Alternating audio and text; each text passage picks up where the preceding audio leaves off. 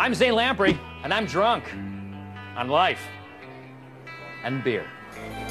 My job is to drink. Who, are you the guy that's traveling around drinking in bars? No, let's just eyeball it. Eyeball.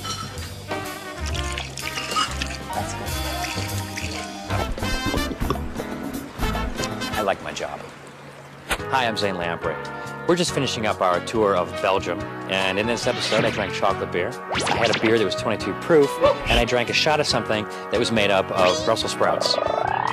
It was, it was really gross, and I threw up a lot.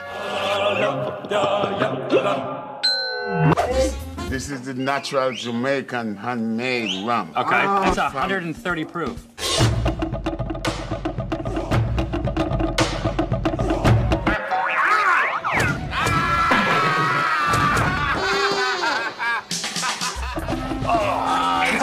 Crazy man, I tell you, man. My butt. Fucking A, man. You could put that in your car and run an engine off it. Yeah, Yeah, man.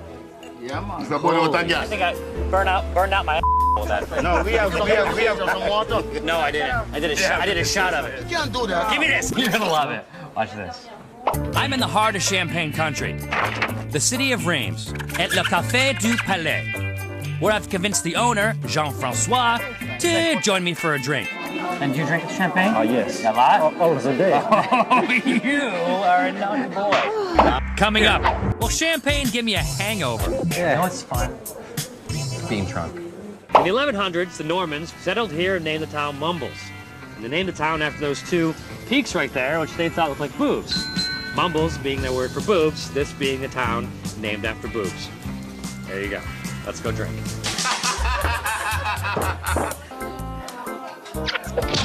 You can tell that I like it, right? Because I made the funny noise. That's how you know. Where You guys, you got smoke coming out of your mouth. Always. Look at you. You look like an idiot. Last, that's word them